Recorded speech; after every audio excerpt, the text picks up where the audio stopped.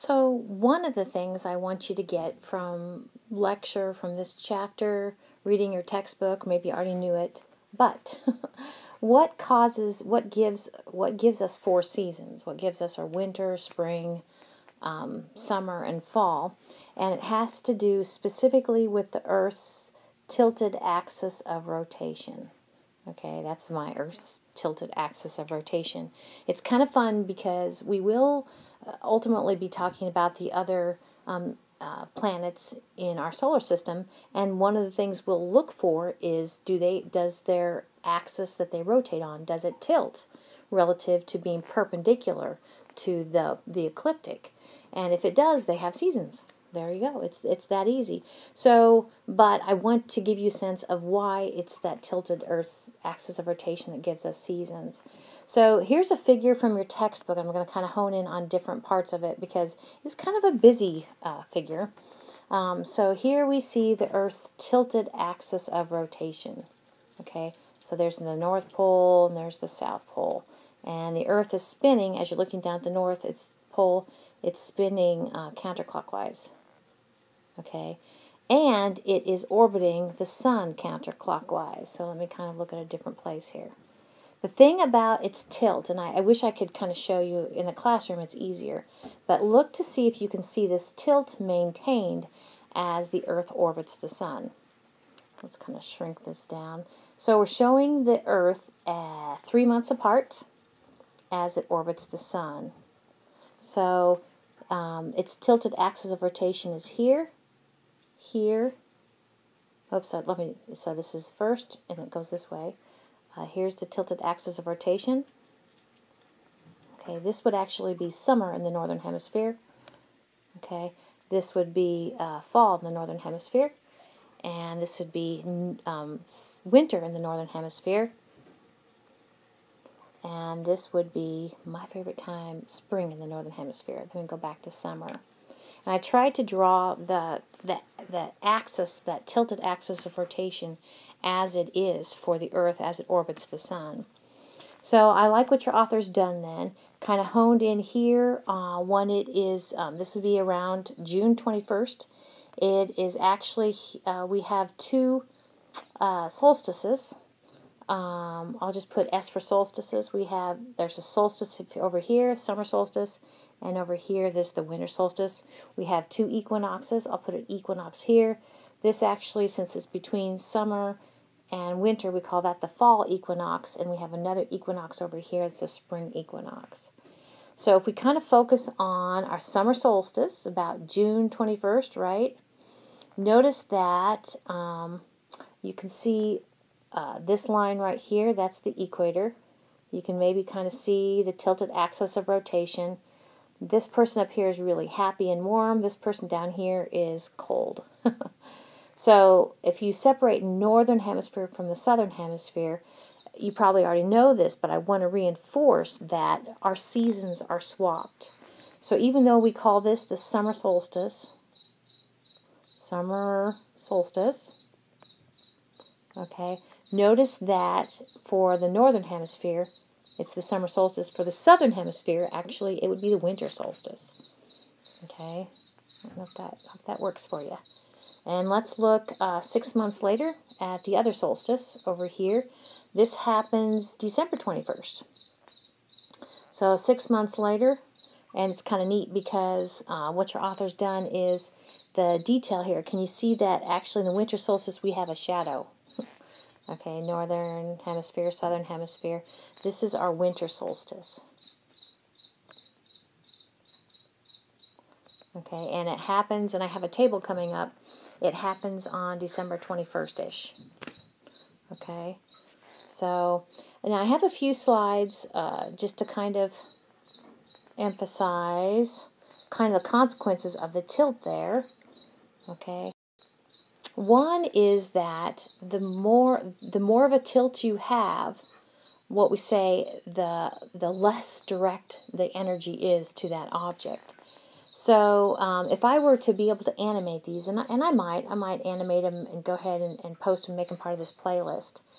But um, what your author's done here is to take this hand And here it's flush relative to the heat source, and it's hot, okay? And then take the hand and turn it. So if the hand, instead of going like, like this, relative to the heat source, if it's turned like this, relative to the heat source, this is my light bulb over here, okay? This is hot, more direct, and this is less direct, this is cooler. Okay, so anytime you have, for instance, you saw those shadows for the southern hemisphere in um, in June, and for the northern hemisphere in December, those shadows represent show you kind of the indirectness of the sun's rays.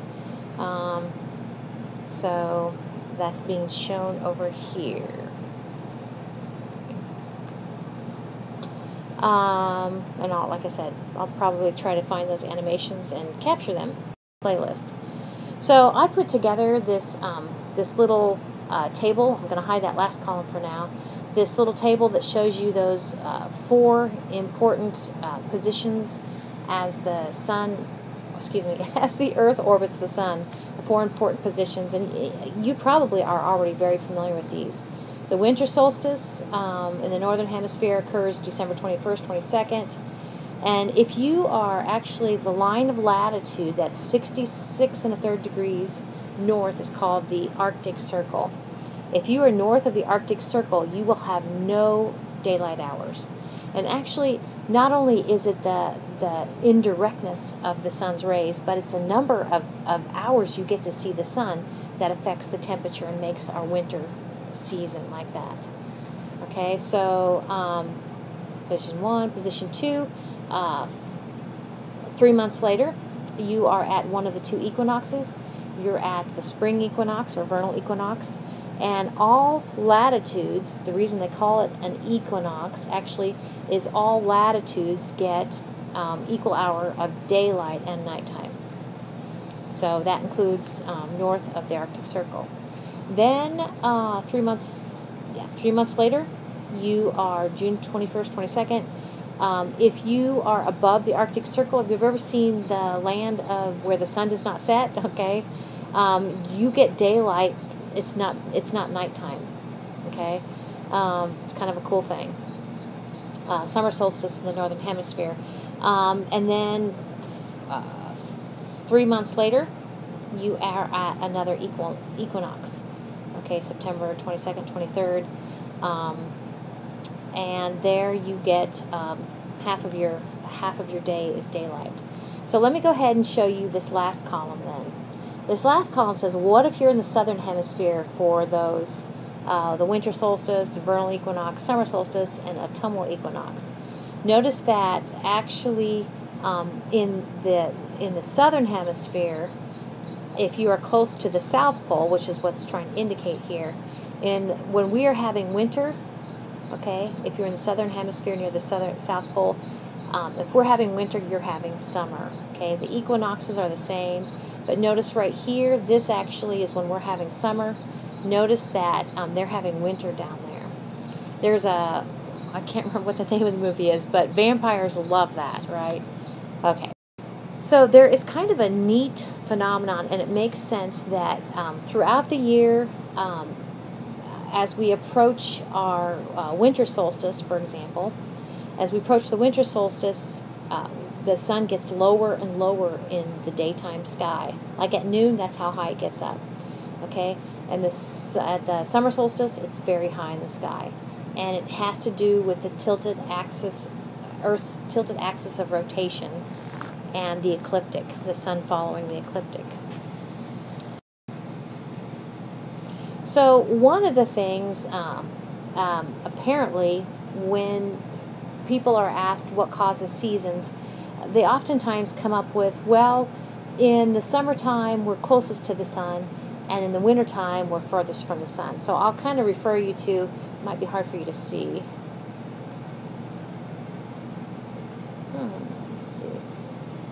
One yeah okay. Um, and honestly, um, there is a difference when we're closest to the sun and when we're farthest from the sun. I know this is a little blurry, so just bear with me. But hopefully you see this is the sun, and we kind of see the Earth at four different positions in throughout the year as it as it orbits the sun. And you see this January 3rd. Actually, January 3rd is when the Earth is closest. We call that perihelion.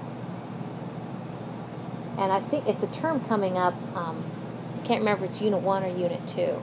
But perihelion, I hope you can read that, is um, when actually um, this distance is smallest. And um, aphelion is when the, the Earth is farthest uh, from the Sun, and that happens around July 4th. So it's not that we're closer to, you know, around June 20, 21st, the summer solstice in the Northern Hemisphere. It's not because we're closer, because actually we're the furthest. So, like the slide says, it's it, it in the uh, distance between the Earth and the Sun, and it just really doesn't make much of a difference with regard to the heat that we get.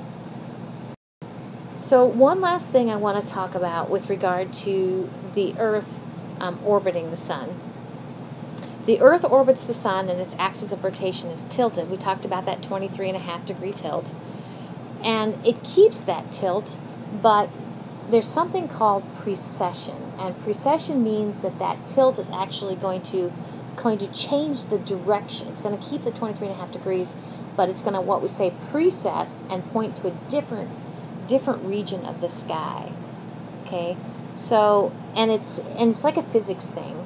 It's kind of like a top being kind of top heavy or not kind of kind of losing a little bit of its of its spin, I don't know, wobbling.